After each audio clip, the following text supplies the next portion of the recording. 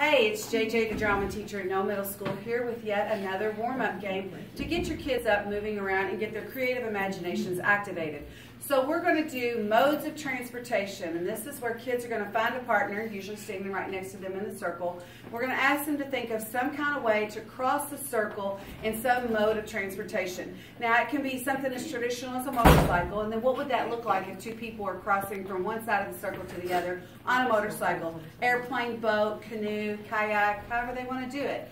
Um, and then you're going to find some kids are going to be very creative with coming up some transportation maybe we've never seen before, which is fine. The goal is to get kids moving, partner work, and to think outside the box. So let's see what my eighth graders come up with.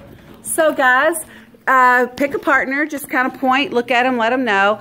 You're going to cross the circle from one point to the other using some type of mode of transportation.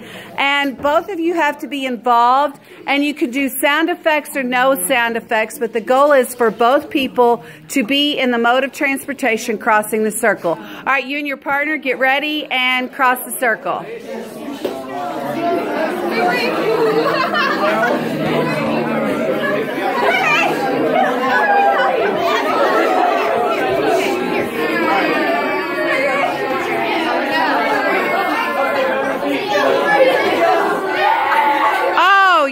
Creative, yes.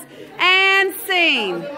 And as you can see, there were a variety of different ways to transport. I like the creativity. I like the energy and the laughs and the smile is always a great way to start your day.